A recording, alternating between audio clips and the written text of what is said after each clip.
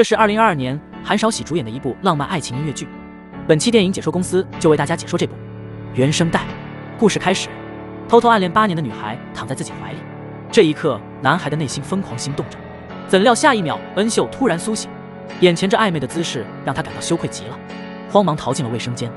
恩秀是个小有名气的作词家，可他最近的作品却接二连三被拒，理由竟是歌词暗恋的情感太过单薄。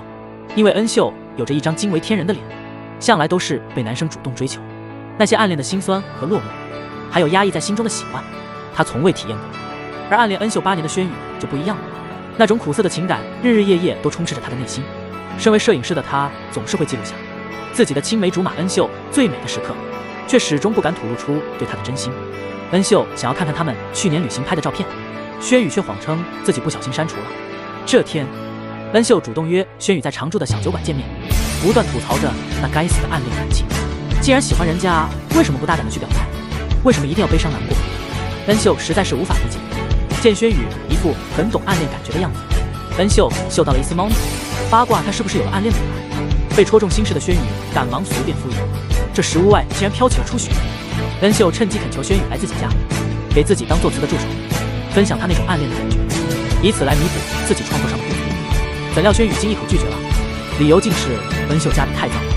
他们走在回家的路上，摇摇晃晃的恩秀差点被路过的摩托车撞到。恩秀边走边哭诉着这讨人厌的暗恋。细心的轩宇担心恩秀穿的太少。于是取下脖间的围巾，温柔地为她围上。恩秀发现不远处的便利店门外有台娃娃机，顿时兴奋得像个小孩子，迫不及待地拉着轩宇夹娃娃。而他的眼神中满满的都是对恩秀的宠溺，还耐心地传授她抓娃娃的诀窍。好奇的恩秀不断追问轩宇暗恋的女孩是谁，还想要抢走他的手机，看看女孩的照片。但喜欢他的轩宇却不能说出口，顿时失落极了。他像往常一样将恩秀送到家，才恋恋不舍地离开。随后，他收到了恩秀发来敷面膜的自拍照，二人的相处模式跟情侣没什么区别。回到工作室的轩宇心烦意乱，他习惯性的打开电脑，不断翻看着恩秀的照片，回忆起四年前的自己，和恩秀一起期待着摄影比赛的结果。恩秀认为自己一定是第一名，怎料名单出炉后，自己只拿了第二。朋友们都在祝贺轩宇，恩秀却突然暴走了，认为肯定是有黑幕，凭轩宇的实力就是毋庸置疑的第一名。说着就掏出手机要去打电话投诉。原来今天也是恩秀失恋的日子，恨铁不成钢的朋友们搞不懂他还在留恋什么。那个渣男长得不仅没有轩宇帅，还没有轩宇好，恩秀还不如直接和轩宇在一起的了。恩秀说不行，要是和轩宇交往后分手了，自己就没办法活下去了。他一辈子都不要和轩宇分开。就这样，轩宇只能将自己的心意埋藏在心里，以朋友的身份默默地陪伴在恩秀的身边。但这样自己就已经很知足了。女孩无意间打开青梅竹马的电脑，却发现了很多以自己名字命名都和键夹。里面存放了很多偷拍自己的照片，恩秀顿时就吃惊不已，自己似乎发现了一个埋藏了很久的秘密。这时，洗完澡的轩宇赶来了，恩秀迅速切回桌面的页面，他不知道自己在刻意逃避什么。原来在几天前，嘴硬心软的轩宇还是带着行李箱住进了恩秀家，只为分享自己暗恋的经历，协助他作词。可恩秀却怎么也不会想到，青梅竹马轩宇其实已经悄悄暗恋了自己八年，还傻乎乎的鼓掌欢迎轩宇的到来。入住的第一天，轩宇就开始收拾起了恩秀的猪窝。而恩秀则在一旁捣乱。轩宇洗碗时，恩秀则在一旁主动投喂他。两个人似乎过起了像小情侣们一样的没羞没臊的同居生活。吃饭时，恩秀看着手机一个劲的傻乐，原来是欣赏的作曲家兴趣爱好和自己同频，还开心的在社交平台上找共同点。却不知轩宇已经吃起了干醋。喝醉的恩秀直接在地板上睡起了大觉。细心的轩宇怕他着凉，给他盖上了毯子，鬼使神差般的躺在了他旁边。这一刻，轩宇感到十分满足。因为只有在恩秀不知情的时候，他才敢肆无忌惮的表达对他的爱。就这样，轩宇搂着恩秀睡了一整晚。清晨睁开眼，看到的就是自己喜欢的人。这一刻，轩宇觉得自己是世界上最幸福的人。睁开眼对视的二人，顿时都感觉十分的尴尬。在卫生间洗漱的恩秀回想着刚刚那句话，轩宇说他快疯了。他不明白这句话究竟是什么意思。轩宇陪着恩秀一起作词，还听了他写好的小样。他多么希望恩秀能明白自己的心意。随后，他又陪着恩秀出门散步，寻找灵感。恩秀八卦起了他对暗恋之人的感觉。轩宇表示自己常常会因为无法为他付出而伤心。轩宇给恩秀买了很多巧克力，可他自己却不吃。恩秀不明白，小时候的轩宇明明很喜欢吃，为什么现在不吃了？这天，轩宇陪着恩秀找到作曲人谈合作，他像以前一样递给恩秀橘子果汁，怎料轩宇一口夺过，用手里的蓝莓汁和恩秀交换，还故意说恩秀最讨厌的就是橘子。在爱情面前，成熟的男人也会变得无比幼稚。轩宇喝完果之后，还发出奇怪的声音，只为了催促恩秀快点离开。回家的路上，恩秀因为轩宇的无礼十分生气，不爽的轩宇直接在半路下车。正当轩宇苦恼该如何哄好恩秀时，他竟然主动带着鲜花来求和好。没出息的轩宇自然是欣然接受，随后和恩秀来到超市大采购。他十分享受和恩秀独处的时间，还偷偷在购物车放了恩秀最喜欢的巧克力。回到家后，他准备大展身手，亲自下厨来抚慰轩宇受伤的心灵。结果被突然造访的妈妈吓一大跳。尽管恩秀极力解释着二人的关系，妈妈还是感觉有猫腻，于是拿出擅长的塔罗牌，让轩宇随机抽出了三张。通过牌面，恩秀妈妈读出轩宇有喜欢的人，而且还是十分纯粹的爱。而最后一张牌能读出喜欢的人在哪里？轩宇此刻十分慌张。恩秀妈妈似乎也读懂了他的心思，故意说那个人在很遥远的地方。轩宇终于松了一口气。恩秀妈妈匆匆忙忙地收拾东西离开，临走前将最后一张牌送给轩宇，希望可以给他带来幸运。你相信男女生之间有纯有义吗？恩秀和轩宇在高中时期就是形影不离的死党。轩宇会拿着相机记录恩秀最美的时刻，就这样，二人吵吵闹闹，陪伴了彼此很多年。没有写作灵感的恩秀想感受下四点四十分的凌晨，轩宇毫不犹豫地陪她出门，细心地为粗心大意的恩秀戴上围巾。这样的有情人谁都会羡慕。直到这天，恩秀在轩宇的电脑里无意中发现他偷拍了许多自己的照片，他此刻才恍然大悟，原来轩宇暗恋的人竟然是自己。于是他鼓起勇气询问轩宇，但轩宇并不想回答这个问题。两人竟默契般的选择了沉默。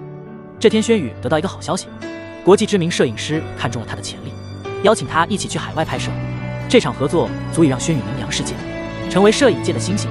只可惜这周就要准备出国，而恩秀在得知轩宇对自己的情感后，也创作出了十分优秀的歌词，得到了作曲人的赏识，成功拿到为顶流歌星作词的合作。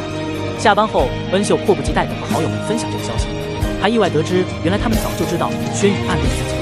得知真相的恩秀却不打算接受这种爱，她害怕自己会让轩宇受伤，也害怕分手之后两人形同陌路的样子。于是她开始刻意逃避轩宇，哪怕轩宇早早就为她准备好了早餐，她还是选择视而不见，悄悄溜走。结果却在院子里和轩宇撞个正着。轩宇习惯性的为恩秀围上围巾，还找出了他上学时骑的自行车，想要为她重新修好。决定在出国前向恩秀表白。恩秀似乎也预感到了什么，连忙解释自己今天很忙，需要加班。让他不要等自己回家。晚上，轩宇骑着修好的自行车，满心期待着恩秀的出现。怎料他此刻正在和作曲人吃西餐庆祝，迟迟等不到恩秀的轩宇赶来公司接他，却意外发现他正在楼下的餐厅吃饭，还是和他颇有好感的那个男人。于是他找了个借口进来插一脚。情敌见面，分外眼红。对方嗅到了轩宇是来者不善。恩秀出去接电话时，作曲人突然起身往轩宇这边走。轩宇紧张地抄起酒瓶，原来他是想捡起掉在地上的围巾。然后说着，他向恩秀告白了。听到这话的轩宇顿时就愣住了，自己终究还是晚了一步。得到答案的轩宇决定尊重恩秀的选择，决定主动退出这场竞争，拜托作曲人送恩秀回家。这天，恩秀主动来工作室找轩宇，却从经纪人那意外得知，轩宇很快就要出国拍摄，行遍全欧洲。虽然这对轩宇来说是个好机会，但此刻恩秀的内心却感到莫名的失落。回到家的恩秀看到轩宇给自己准备的惊喜，他修好了那辆坏掉的自行车。当年他就是用这辆来叫回恩秀汽车的，他承载着两人许多美好。恩秀害怕轩宇向自己表白，于是抢先一步表示自己支持轩宇出国追求梦想，他们永远都是最好的朋友。轩宇也明白了他的心意，选择退回到朋友的位置，因为他不想让恩秀有任何的不自在。第二天一大早，恩秀送轩宇离开，他又开始叮嘱恩秀要按时吃饭，注意保暖。轩宇离开的这一幕，让他们回想起八年前轩宇入伍那天，恩秀故作洒脱的送别。轩宇一把将他拉进怀里，贪婪地感受他身体的温度。走到半路时，天空突然下起了大雨。轩宇担心恩秀回不了家，于是买好雨伞，再次返回恩秀兼职的餐厅，却发现恩秀已经哭成了泪人。等到轩宇真的离开后，恩秀才发现了自己对轩宇的心意。在等待轩宇回来的日子，恩秀也在努力地搞事业，事业逐渐走上了正轨，成了业内公认的实力派作词家。轩宇不在身边的日子。恩秀会用手机记录下自己的日常生活，分享给远在国外的轩宇。但由于轩宇的拍摄地都很偏僻，信号时好时坏，联系不上成为了常态。以前大大咧咧的恩秀出门时从不会带围巾，现在却不忘轩宇叮嘱，乖乖的找到围巾戴好。很快一年时间就过去了。这天电话响起。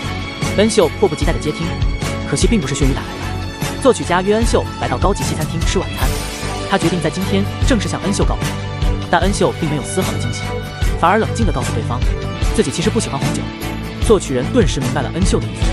恩秀回到家，竟意外的发现家里灯全都打开了，还以为是轩宇回来了，发现是妈妈后，心情瞬间失落了。他突发奇想的想要算塔罗牌，结果抽到了一张和轩宇一模一样的牌。这时他才明白了，原来妈妈也早就知道了。恩秀已经很久都联系不上轩宇了，每当思念他时，恩秀就把玩着轩宇送给自己的玩偶。突然发现玩偶的小背包里有条项链和一张纸条，希望你的生命里永远都有我。这一刻，他决定不再逃避自己的心。